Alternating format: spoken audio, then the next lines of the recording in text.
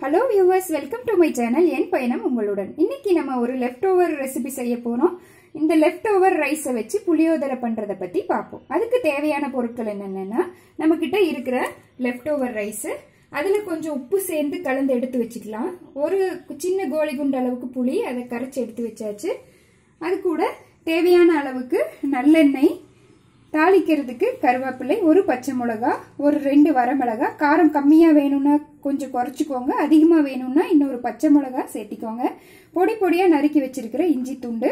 தாளிக்கிறதுக்கு கொஞ்சம் உளுந்து பருப்பு கடலை பருப்பு அது கூட கடுகு. ஒரே ஒரு சின்ன கட்டி பெருங்காயம் ஒரு சின்ன வெள்ளைக்கட்டி.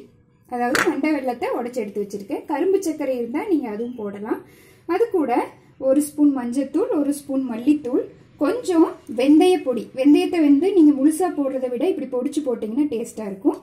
அது கூட கொஞ்சம் நிலக்கடலை தேவைப்பட்டால் ஒரு நாலஞ்சு முந்திரி பருப்பு. வாங்க இப்போ எப்படி பண்ணுறதுன்னு பார்ப்போம். ஒரு வானலியில் கடுகு நல்லா வெடித்ததும் அது கூட அந்த கட்டி பெருங்காயம் போட்டுப்போம் அதுவும் பொரியும். அது கூடவே நம்ம எடுத்து வச்சுருக்கேன் அந்த கடலைப்பருப்பு உளுந்து பருப்பையும் போட்டுப்போம். அது கூடவே நம்ம நிலக்கடலை முந்திரி பருப்பு எல்லாமே போட்டுப்போம். அதுக்கப்புறம் எடுத்து வச்சிருக்க கருவேப்பிலை பச்சை மிளகா வரமிளகா இஞ்சி எல்லாமே போட்டுப்போம் நம்ம வெயிட் பண்ண வேண்டியதில்லை. அடுத்தடுத்து கொஞ்சம் சேர்த்துட்டே இருப்போம்.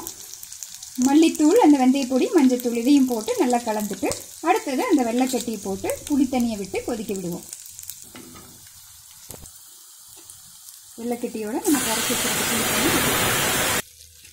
நல்லா அப்படியே அது கெட்டியாகி கொஜ்ஜு மாதிரி ஆயிடுச்சு. இப்போ நம்ம எடுத்து வச்சிருக்க அந்த ரைஸை போட்டு கலந்துக்கலாம்.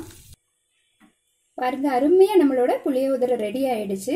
இதோட ஸ்பெஷாலிட்டி நம்ம நல்லெண்ணெயில் சமைக்கிறது. அப்புறம் அது கூட நம்ம தூவி இருக்க அந்த வெந்தய பொடி. வெந்தயத்தை முழுசாக போடுறத விட அந்த பொடிச்சு போட்டோம்னா டேஸ்ட் கூடும்.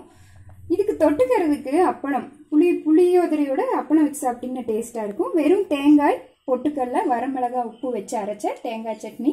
தொட்டு சாப்பிட்டிங்கன்னா ரொம்ப அருமையாக இருக்கும். ஸோ மிச்சமாகிற சாதத்தை வச்சு இப்படி ஜம்முன்னு புளியோதரை செஞ்சு நம்ம இந்த ரெசிபியை டேஸ்டியாக மாற்றிக்கலாம் ஸோ இந்த ரெசிபியை நீங்களும் ட்ரை பண்ணுங்கள் தேங்க்யூ